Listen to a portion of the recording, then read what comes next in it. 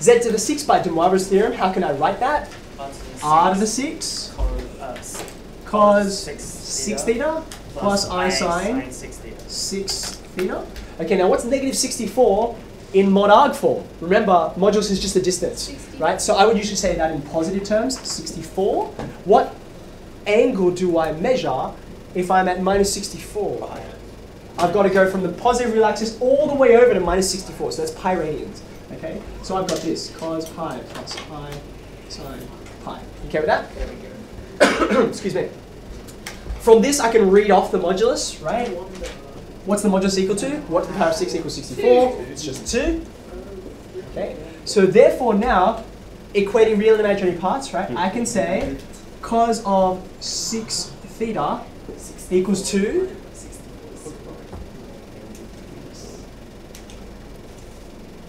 Cos pi. two k Cos pi pi. plus pi. But the first line. Oh, Plus pi? Yeah. My bad. cos pi. Is that just going to work out? Yeah, you gotta solve it the 2k thing after. Okay, now remember, I, I have to write the other one as well.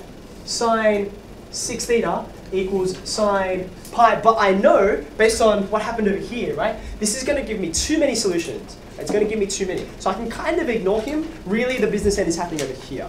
Okay. Now, remember, the first solution is where these two angles are just the same angle, right? So I can just say 6 theta equals pi, but that's not the only solution. That's not the only solution, because what's the period of cosine? Pi. It's 2 pi, right? So I can add 2 pi, I can add 4 pi, and 6 pi. So I'll say 2k pi, where k is any integer value, oh yeah. right? Because I can go the other way as well. I can go the other way. You okay with that? Okay. So now I just have to divide through. I just want theta after all. So I can say theta equals, what have I got on my right hand side? Pi on 6 plus... that means it's 2k pi on offset. six. K I've got 2k pi on 6, which is k pi on 3. Okay, that was a lot quicker because we didn't have to talk through the mechanics of why it worked. Okay, so you can see now I've got my modulus. I've got every different argument that I want. Okay, so let's go through them. Right? When k equals zero, I always start with zero because that's the easiest one to work out. I'm going to get a solution, z1. Right? Let's quickly give it a go. I've got a two. One question. Um, Yes? Do we have? Do you like either has to do cos or sine or not? Like 'cause you did sine, but you haven't solved it. So do we need to do that? Excuse me. No. And the reason why is because of what happened over here, right? It's going to give you too many solutions. It's going to give you some solutions that you must reject on the basis of cosine. So you just pick the dom. the always do cos. Yes. Okay. Yep. Do we always write out the sine six? This part, not not really. That's all you need, really. It will give you the same set of solutions anyhow. And when you add plus 2k pi, you'll get all of the answers. Okay, now I'm doing it in mod arg form. So what's my first angle? Cos of, now k is 0.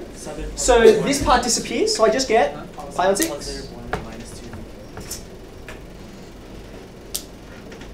two. Okay, so everything started in rectangular form, right? So I better get this back in rectangular form as well. Cos pi on 6 is root 3 on 2. Plus sine pi on 6 is just a Half. You multiply your factor of 2 through, and you get this guy. Okay? Now, where is this guy? Where is this guy? Um, I'm going to go over here. We don't need this particular. Root 3 plus i. He's two units from the origin, right? And he's pi on 6 radians up. Okay? Now, can you see why that has to be? Let's just quickly, quickly draw him. Six. Okay? So, where is root 3 plus i? Root 3 plus i is going to be somewhere about there. Whoops, that's z1. Okay? Now, think about what happens when I take this guy and I raise him to the power of 6. Think about what happens, right? Firstly, let's think about the moduli. Um, the modulus at the moment is 2, right? So when I do it 6 times, it'll go 2, 4, 8, 16, 32, 64. That'll take me out really, really far. What about the angle? What will happen to the angle?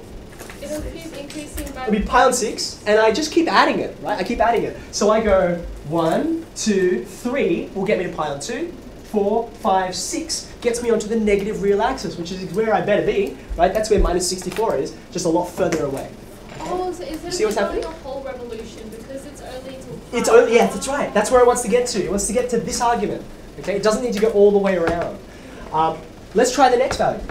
K equals 2. That'll give me, sorry, k equals 1. That'll give me a new complex root, right? z2. All right, this one's a bit trickier. I've got my modulus out the front, cos of, okay, pi on 6 plus pi on 3. Pi on 6, Three. pi on 3. That's 3 pi on 6, which is pi on 2. Yep. Okay. Cos pi on 2, of course, is? Cos pi on 2, of course, is 0. Plus sine pi on 2, sine pi on 2 is just 1. Okay, oops, um, sorry. I'm multiplying already, right? So that's 2i. Huh. 2i. Where's 2i? 2i is the same distance from the origin as z1. There's my z2. 2i. Why did it skip? Why does this work? Yes, good question. We'll come to that in a second. Z2, like I just put in k equals 1, right? That's where it landed. Do you see why it works? What's going to happen when I do it six times? What will happen to the angle? It'll go first time, second, third, fourth, fifth, sixth. I'm on the negative real axis. And of course the modulus does its thing and becomes 64 away from the origin. Does that make sense? Oh, okay. Okay with that? Okay, let's try the next value. How about negative one? Say it again. About negative one? Should you try that later? We'll, we'll get to it. I'll, I'll show you why I, I will choose to go to a negative at a certain point.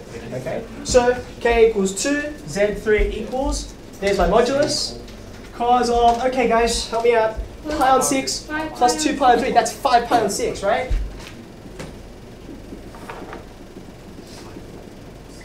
Okay, maybe you need to reach your calculator Which is for this one.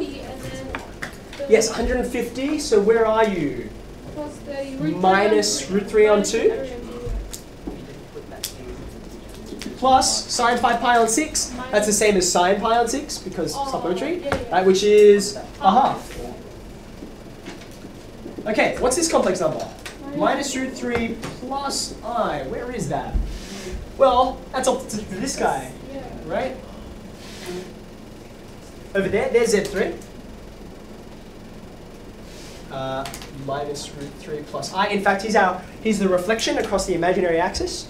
Okay, now at this point, I stop increasing k. I'm going to go around to the other side and try negatives. How do I know to try negatives now? Because if you add another pi on six, Pi on three. pi Yes. three, my bad. Good, Um, yes, yes, you, yes. You'll end up with like a non-principal argument. Very good. So you can see what's happening to the arguments each time, right? Pi on 6, and then pi on 2, and then 5 pi on 6. You can see, like even on the diagram, when I add the next one, I'm going to go past where I'm pi. I should be at negative pi, right? So instead of going anti-clockwise, I'm now going to come around the other side and do all of the negative cases, okay? I'll save you a bit of time. You're going to get this shape. Because roots of It's not unity. It's no longer unity. Sorry, sorry. It's something else special, which which I'm going to deal with in, in detail later. Okay. So I've got I've got Z4 over here, Z5 over here, and Z6. Okay. Um, you can go through. You can crunch crunch the different values of k. You'll get k equals negative one here, k equals negative two, k equals negative three. That'll give you those answers. They'll have the same arguments but in reverse. Okay. So, what do we gather from this? How would you describe, in the same way that we described them before, what binds all of these solutions together? They're all two units away from the origin, right? Which means they all sit on a circle of radius 2, right? And they are still evenly spaced out. Okay? Now, quick question. I got asked, how come I skipped something, right? How come I skipped an angle that seems like it might be here, right? Uh, I'm guessing if this is pi on 6, and it's pi on 2, this would be pi on 3, right? Pi on 3. What would happen if I tried pi on 3? Remember, I'm going to do it six times, right? So if I went pi on 3 here, okay, pi on 3, once you multiply it six times, is 2 pi, right? So in fact, you're not going to end up on the negative real axis, which is what you really want. You're actually going to spin back around to the positive real axis, which is, um, that's no good, right? And just going through the cases for the values of k will tell you what the right arguments are. Okay, okay. any questions on that? Uh, this process, it's going to work exactly the same, regardless of what number you're working out the complex roots of. Okay. So for instance, you could just as easily work out this. Oh, I don't know. One plus. There you go. Okay. So you've got this number. Uh, well, it's almost, it's the opposite one over there, okay? You can work out its fifth root. It's going to be five times closer to the origin, and its angle will be five times smaller, and all of the extra ones that you're going to get once you take the different values of k.